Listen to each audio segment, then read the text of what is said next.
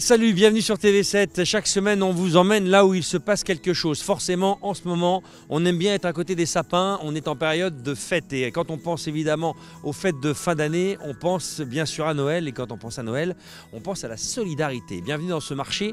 Un marché pas comme les autres. Ici, tout vient de France. Tout est fabriqué avec responsabilité.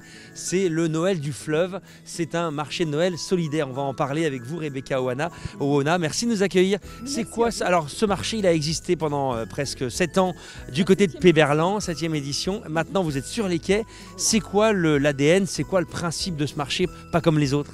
Alors, ce marché dit d'économie sociale et solidaire a pour but en fait de permettre à des jeunes créateurs d'entreprises qui ont bénéficié d'un microcrédit euh, euh, de la part d'une structure comme la Caisse sociale de développement local que je dirige, euh, des jeunes créateurs qui se lancent, qui ont besoin de tester leurs produits, leurs services auprès du grand public, donc euh, leur permettre de le tester sur un lieu à fort passage, dans des conditions effectivement financières plutôt avantageuses et dans un petit écosystème protégé, et aux côtés de commerçants beaucoup plus confirmés de la ronde des quartiers qui sont là pour être finalement locomotives, moteurs, et leur donner un peu de conseils sur la manière de présenter leurs produits. Donc il y a un échange de bonnes pratiques, il y a une solidarité entre les créateurs d'entreprises et bien entendu tout ça dans le respect effectivement d'un commerce équitable, euh, avec le souci effectivement que tous les maillons de la chaîne soient bien rétribués, euh, et tout ça pour le bonheur d'une clientèle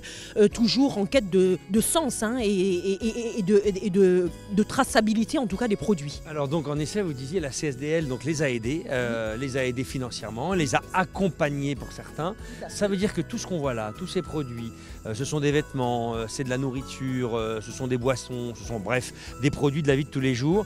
C'est 100% français Alors 100% français, oui et non en fait, puisque nous avons quand même des sacs qui sont faits à base de plastique du Burkina Faso, nous avons un restaurateur portugais. C'est 100% local en tout cas, d'où que ça vienne. Fait main en fait, et fait main dans, vraiment dans un souci effectivement de, de développement, va dire, durable, d'utiliser des choses euh, vraiment naturelles euh, et, et, d'expliquer aux consommateurs qu'au-delà du produit, il y a des valeurs derrière, effectivement, qui sont des valeurs d'économie sociale et solidaire et que tous ces chefs d'entreprise portent. Voilà. Exactement. Alors, c'est intéressant ce que vous disiez, parce que vous voyez, on le voit, hein, il y a des bières, euh, il y a des, fromages, du, des brioches, tout est local. Et ce, et ce qui est intéressant, c'est qu'on a la sensation qu'il y a quelques années, un marché social et solidaire, euh, c'était un peu réservé à une niche à des gens, on va dire, un peu avertis. Aujourd'hui, on le voit bien, il y a quand même un changement dans les mentalités. On le voit même dans les derniers sondages, dans ces fêtes de fin d'année. Euh, il y a un tiers des Français qui disent être prêts à acheter des produits reconditionnés, recyclés, responsables. Tout à fait. C'est ça. je pense que les clients sont, ont besoin maintenant d'autre chose, reviennent à des choses qui ont plus. Euh, des achats, on va dire, qui ont plus de sens finalement et qui sont porteurs euh, de, plus qu'un simple besoin de consommation. Ils ont besoin de connaître l'histoire, l'histoire de celui qui fabrique, l'histoire de celui qui produit plus ou moins loin euh, de celui qui fabrique ici. Et euh, ils achètent plus qu'un produit. Et les personnes, les clients potentiels, c'est ce qu'ils recherchent. Acheter finalement plus qu'un produit, une histoire. Exactement, mais c'est exactement ce que j'allais vous, vous poser comme question. Vous qui côtoyez ces gens-là, ce ne sont pas que des gens qui d'un côté ont des fournisseurs et de l'autre des clients et vendent et font du, et font du fric. Ce sont des gens qui racontent des histoires. Oui, et la plupart du temps, ces créateurs d'entreprises ont eu des vies avant. Ils ont été effectivement dans des secteurs d'activité qui sont plus ou moins euh, consuméristes, très consuméristes. Et à un moment donné, ils ont eux-mêmes recherché à, euh, à, produire quelque chose qui leur ressemble plus.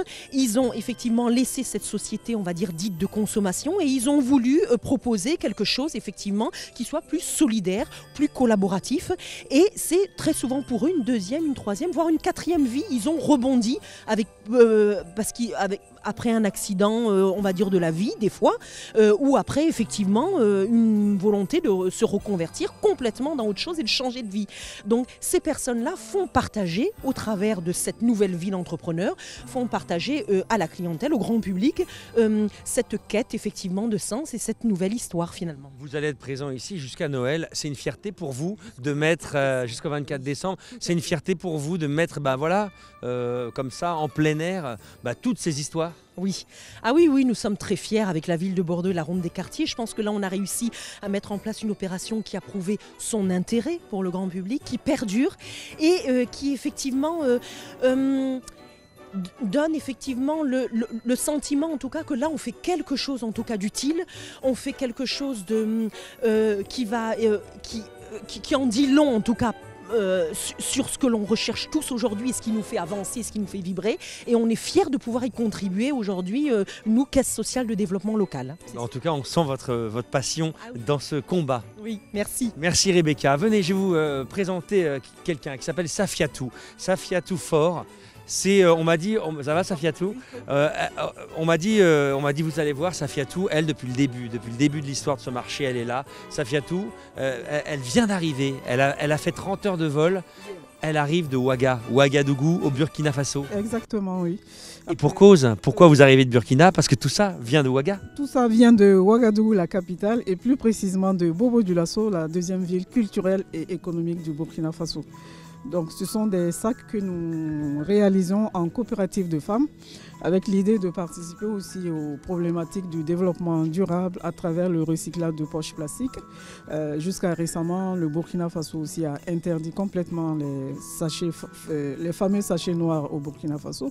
Donc puisque nous avons contribué à leur élimination presque, Maintenant, nous produisons aussi nos sacs à partir du coton 100% produit au Burkina Faso. Ça veut dire que là, tout ce que l'on voit là, ces petites euh, trousses, euh, ces sacs, ces cabas, c'était au départ du plastique. On a parfois la sensation que les pays en voie de développement, parce que le Burkina Faso fait malheureusement partie des pays les plus pauvres au monde, on pourrait se dire que ces pays-là sont très loin du message euh, développement durable, éco-responsabilité. C'est faux? C'est vraiment faux. Il suffit de faire le déplacement pour comprendre que le peuple burkinabé est très très consciencieux euh, depuis des années et des années et des années. Ça a mis du temps avant que les gens acceptent l'idée qu'il fallait se débarrasser des sachets plastiques. Mais le travail des femmes a fait que euh, maintenant, euh, on a compris qu'il fallait s'en débarrasser, que c'était du pétrole même recyclé. Euh, après avoir contribué aux ateliers dans les écoles, auprès des femmes, dans d'autres associations féminines et pas féminines, maintenant, tout le monde a compris qu'il faut avoir des cabas pour faire ses courses, que ce soit en tissu ou autre matière, mais le plastique, non.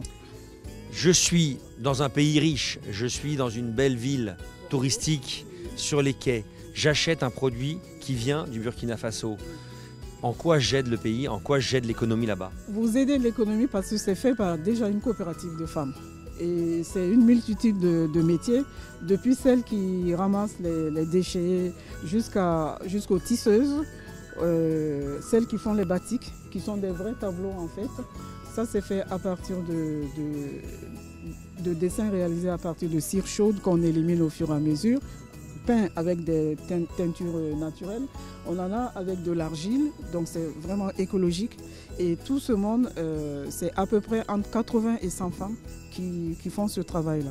Donc elles en vivent, elles envoient leurs enfants à l'école. Dans notre coopérative, les enfants ne sont pas employés. Au contraire, nos salaires permettent d'envoyer les enfants.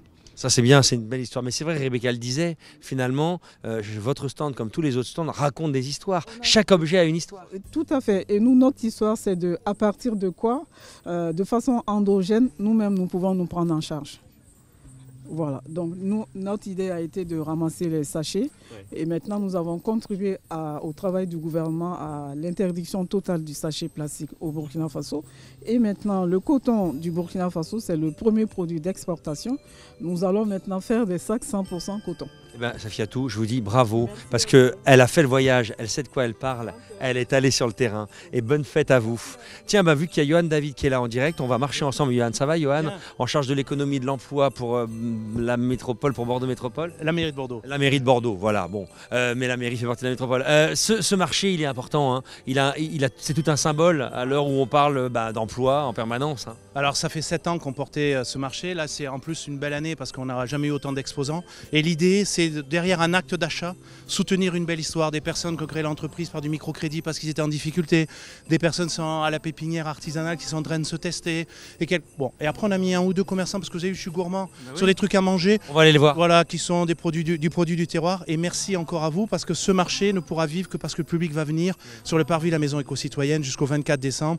On pouvoir se faire plaisir, passer un bon moment et derrière son acte d'achat, acheter autre chose. Acheter dans un secteur innovant, vous avez vu quelques, quelques interviews, soutenir euh, des créateurs, soutenir des choses complètement improbables qui sont magnifiques, mais quand ils vont vous expliquer d'où ça vient, vous n'allez jamais croire, notamment sur la partie recyclage. Et franchement, même si euh, tous les commerçants sont importants, surtout à Bordeaux, puisque c'est le premier bassin d'emploi euh, pour l'agglomération bordelaise, le commerce, sortir un peu des sentiers battus, des grandes marques, quelque part ça fait un peu du bien. Mais ça fait du bien, mais pour nous, il n'y a pas d'opposition. La Ronde des quartiers, le co-organise avec nous cette manifestation, parce que ce sont des commerçants comme d'autres. Mais là, on avait envie de mettre le commerçant avec un H d'humain encore plus en valeur que les autres. Et on a quelques commerçants anciens qui viennent donner des conseils à ces commerçants un petit peu nouveaux. C'est important, parce que vendre, c'est un métier aussi. On peut faire du recyclage, de l'ESS. On a besoin à un moment quelle est la relation client.